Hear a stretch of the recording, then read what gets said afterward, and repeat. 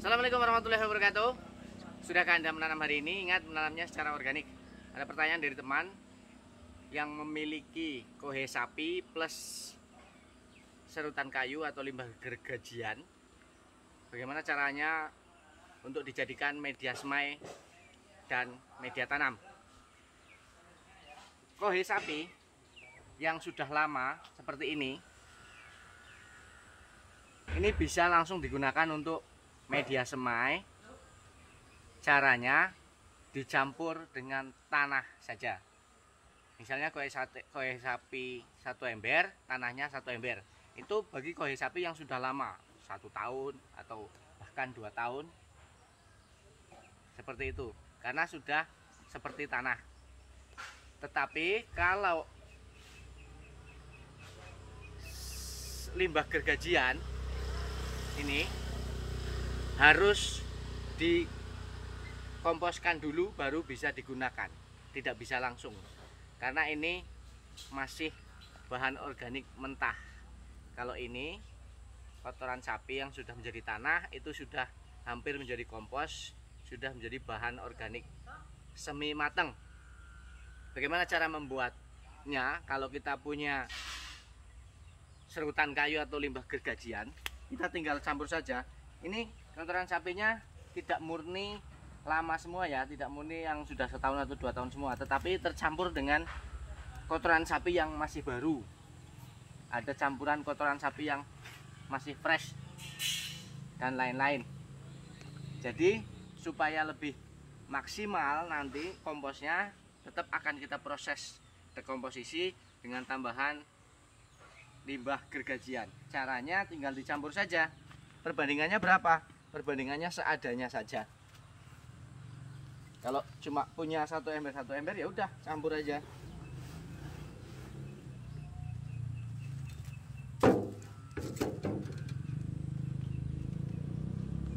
Diaduk merata kemudian kita tumpuk menggunung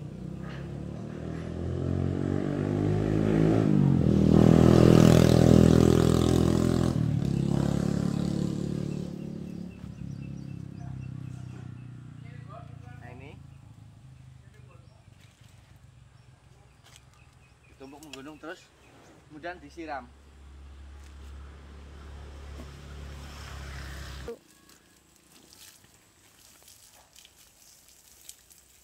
Disiram merata penyiraman juga dilakukan bertahap ya. Ditumpuk sedikit siram tumpuk lagi siram tumpuk lagi siram terus. Nah proses ini selanjutnya kita aduk rutin. Biar cepat itu pengadukan empat hari sekali. Memang capek. Untuk memperoleh kompos yang matang bagus itu seperti itu. Ya kalau nggak sempat ya satu minggu sekali. Proses pengadukan bisa memakan waktu sampai 10 minggu. Berarti sekitar dua bulan lebih sampai tiga bulanan. Itu saja termasuk kompos yang prematur alias semi matang. Kalau mau matang bisa 9 bulanan. Membuat kompos itu memang sangat lama.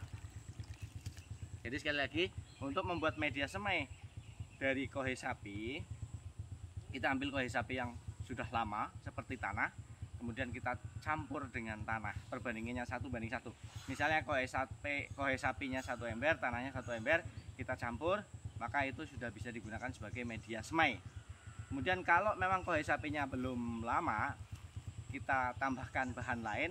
Misalnya tadi serutan kayu atau gergajian kayu satu banding satu atau seadanya kemudian kita tumpuk kita siram tumpuk siram tumpuk siram kemudian kita tutup seperti ini. Ini umur berapa ya? Sembilan. 9 apa? Hari. ini umur 9 hari. Sudah dicek suhu? Belum ya? Kemarin. ini yang udah 9 hari dua kali pengadukan ya? Ya.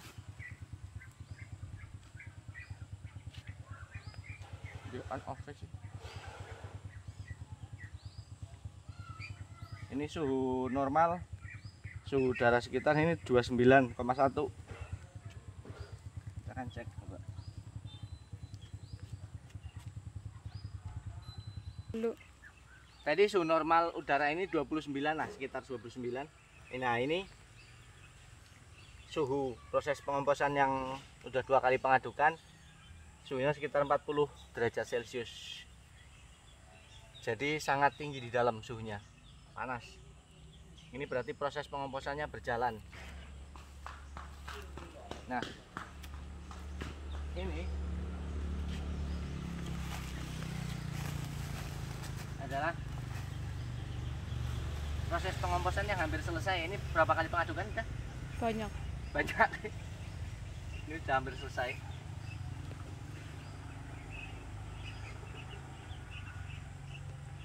baunya sudah hampir seperti tanah. Amoniaknya udah tinggal sedikit. Ini kapan mau dipanen? Besok.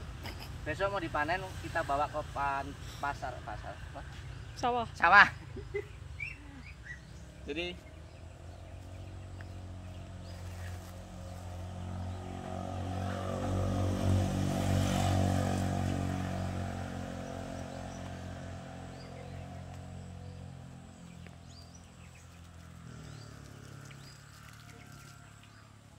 Oke, jadi bahan-bahan ini harus melalui proses dulu supaya menjadi kompos supaya menjadi bahan organik yang matang sehingga nanti ketika diaplikasikan baik sebagai media semai maupun media tanam itu akan memberikan nutrisi yang bagus yang cukup buat tanaman baik yang disemai maupun yang ditanam oke semoga ada manfaatnya. Terima kasih sudah nonton. Assalamualaikum warahmatullahi wabarakatuh. Waalaikumsalam warahmatullahi wabarakatuh.